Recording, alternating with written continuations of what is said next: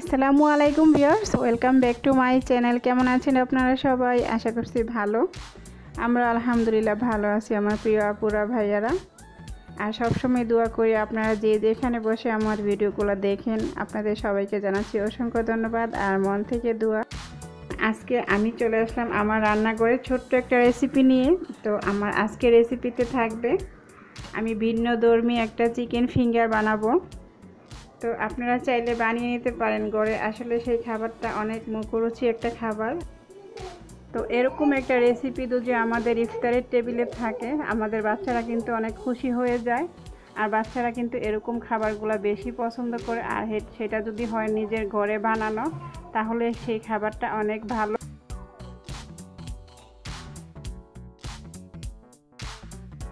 তো এখানে আমি চিকেন নিয়ে নিলাম হাড় চারা চিকেন তো এটা বানানোর জন্য আমাদের হাড় চারা চিকেনটাই লাগবে। তো আমি এখানে অল্প কিছু নিয়ে নিলাম।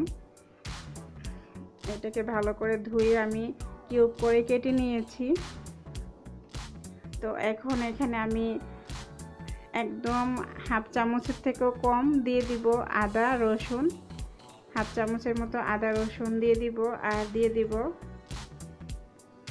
সামান্য পরিমাণ লবণ। এখানে সামান্য লবণ দিয়ে দিলাম আন্দাজ মতো। আর দিয়ে দিব খুবই অল্প পরিমাণের হলুদের গুঁড়া। আবারও একই সমানের মতো ধনিয়ার গুঁড়া, জিরার গুঁড়া, মরিচের গুঁড়া এরকম সব দিয়ে দিব আমি। আর এখন দিয়ে দিব আমি সামান্য একটু টেস্টিং সল্ট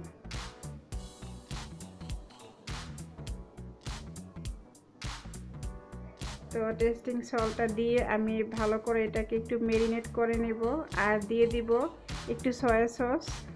যে সয়া সসটা আমি ঘরে বানিয়েছি, সেই সয়া সসটা এখন দিয়ে দিব এক চামচের মতো।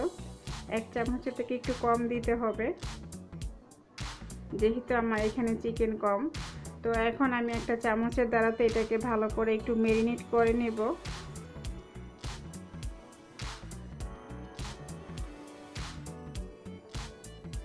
তো এখন কিছুক্ষণের জন্য রেখে দিব।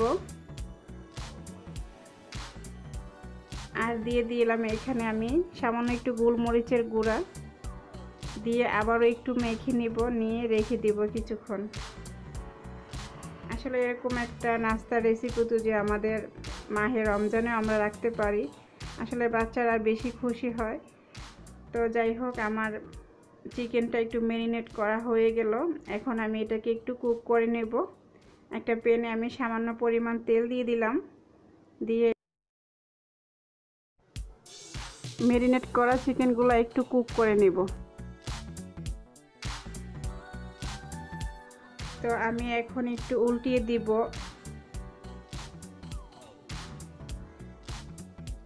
এতে করে চিকেনের দোনো পাশ সিদ্ধ হয়ে যাবে।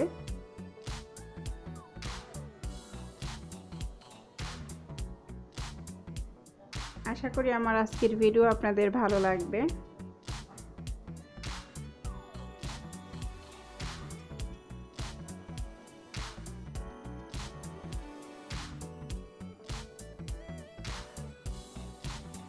তো আমি এখন দিয়ে দিব কুচি করা গাজর। এখানে আমি একটা গাজর ভালো করে কুচি করে নিয়েছি, একদম চিকন করে। তো এটা আমি এখন চিকেনটার সাথে মিশিয়ে নিব।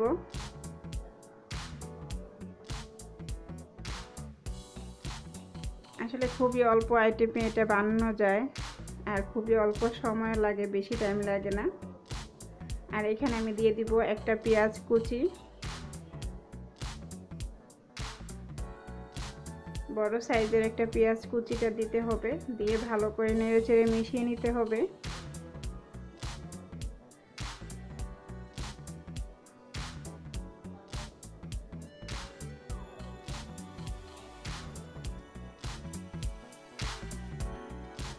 তো এখন গাজর আর চিকেনটা কুক হয়ে গেছে। এখন আমি এখানে দুইটা আলু সিদ্ধ করে নিয়েছি।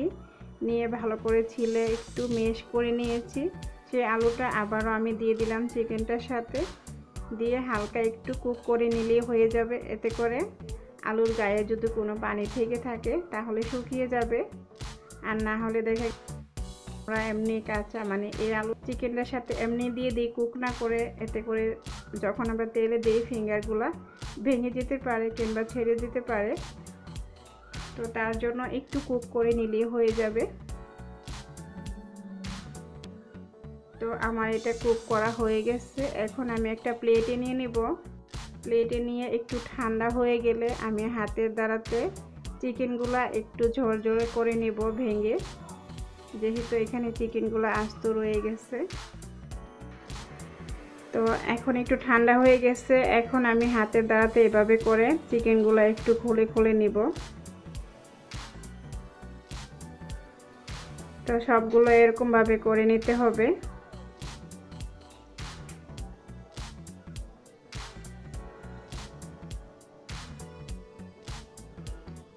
আর এরকম একটা নাস্তা যে আমাদের বাচ্চারা নাস্তার টেবিলে পেয়ে যায় মানে খাবার টেবিলে পেয়ে যায় ইফতারের সময়।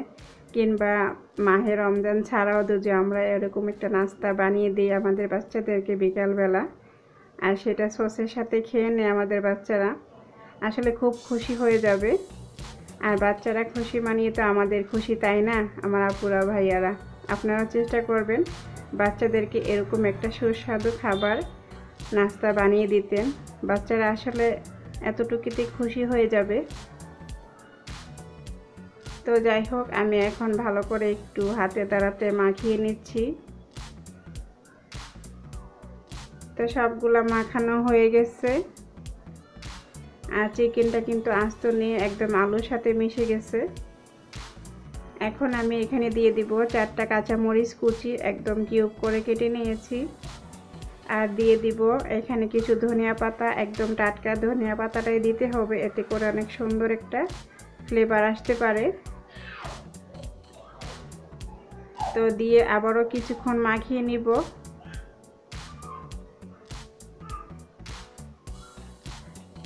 আর এখন আমি দেখে নিব যে ফিঙ্গারের মানে ফিঙ্গারের মতো একটা শেপ আসছে কিনা। যখনই বুঝে নিব হ্যাঁ ফিঙ্গারে শীত চলে আসছে, তখন এটাকে আর মাখা যাবে না। এখন আমি এইভাবে করে ফিঙ্গারগুলো বানিয়ে নিব।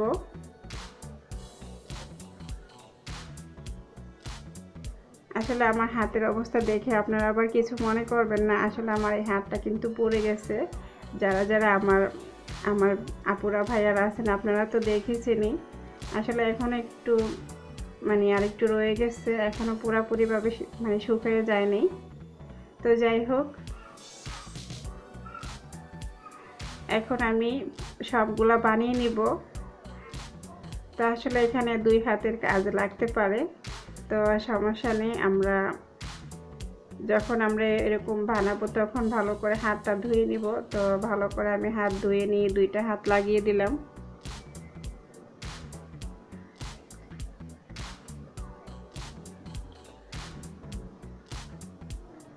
আসলে সবগুলো ফিঙ্গার আমি এভাবেই বানিয়ে নিব। আর আসলে আমি যেহেতু আমার চ্যানেলে একেবারে নতুন, আমার এই রেসিপিটা আর সেটা ছিল অনেক মজার। আপনারা আসলে বাসায় ট্রাই না করলে বুঝবেন না যে কত মজার ছিল। আর আমার বাচ্চারা তো আসলে কি বলব, অনেক খুশি হয়ে গেছে। তো আমার সবগুলা ফিঙ্গার বানানো হয়ে গেছে। এখন আমি একটা বাটিতে একটা ডিম ভালো করে ভেঙে ফেটিয়ে নিয়েছি চামচের দ্বারাতে। আর নিয়ে নিয়েছি এখানে একটা প্লেটে বেডগ্রাম তো এটার সাথে আমি ডিমে চুবিয়ে নিব। ফিঙ্গারগুলো নিয়ে তারপরে বেডগ্রামের সাথে মিশিয়ে নিব।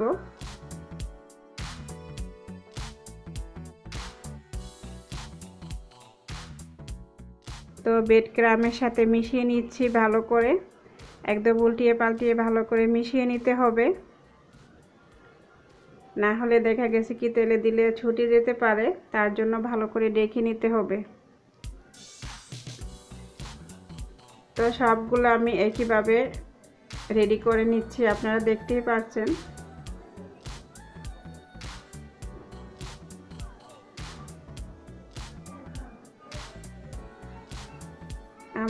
আমার একটা রিকোয়েস্ট থাকবে আমার পুরা ভাইয়ারা, আপনারা পুরাটা ভিডিও দেখে নেবেন, টেনে টুনে দেখবেন না প্লিজ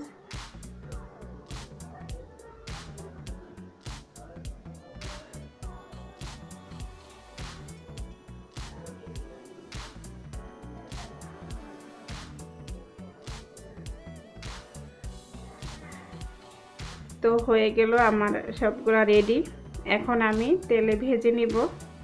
দেখুন কত সুন্দরভাবে একদম অনেক সুন্দর লাগতেছে দেখতে, তাই না? আমি এখন এগুলা তেলে ভেজে নিব। আর এগুলাকে ভাজতে হবে একদম ডুবানো তেলে, না হলে কিন্তু হবে না। যেন এগুলা তেলের একদম ডুবানো তেল থাকে আর কি, ওরকমভাবে বাজতে হবে, না হলে ভেঙে যাবে। অথচ দেখা গেছে কি পুড়ে যেতে পারে। তো আমি তেলটা কিন্তু বসিয়ে দিয়েছি অলরেডি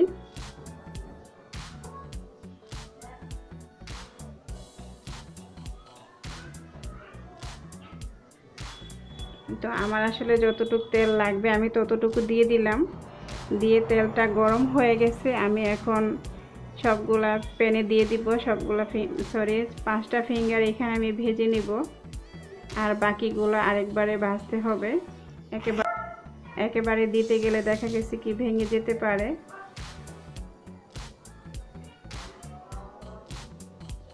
তো আমার আসলে এখানে আরেকটু জায়গা ছিল, তার জন্য আরেকটা দিয়ে দিলাম, ছয়টা দিয়ে ভেজে নিব।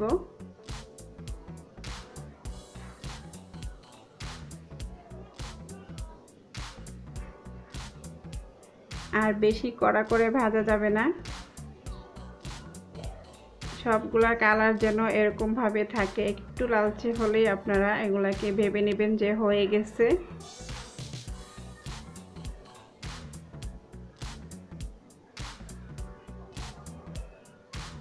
আমি আশা করি আমার প্রিয় আপুরা, ভাইয়ারা আমার পাশে থাকবেন আপনারা সবাই। আমরা সবাই সবার পাশে থাকব, এটাই আমাদের নিয়ম আর এটাই মেনে চলতে হবে। আমরা একজন আরেকজনের পাশে থাকা এটাই আমাদের মেন মানে তো আমরা সবার জন্য সবাই দোয়া করব। দোয়া ছাড়া কেউ কাউকে কিছু দিতে পারব না। সেটা সেটা দেওয়ার মালিক তো আল্লাহ। মানে যা কিছু দিতে পারেন, আল্লাহ দিতে পারেন, আমরা শুধু একজন আরেকজনের জন্য দোয়াই করতে পারি, তাই না?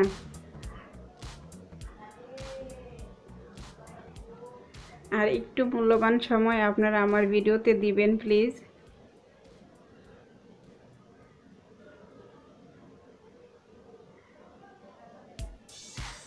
তো আমার এখানে ফিঙ্গারগুলো কিন্তু ভাজা হয়ে গেছে, আর দেখুন কত সুন্দর একটা কালার চলে আসছে। তো আমি এখন একটা প্লেটে পরিবেশন করে নিলাম।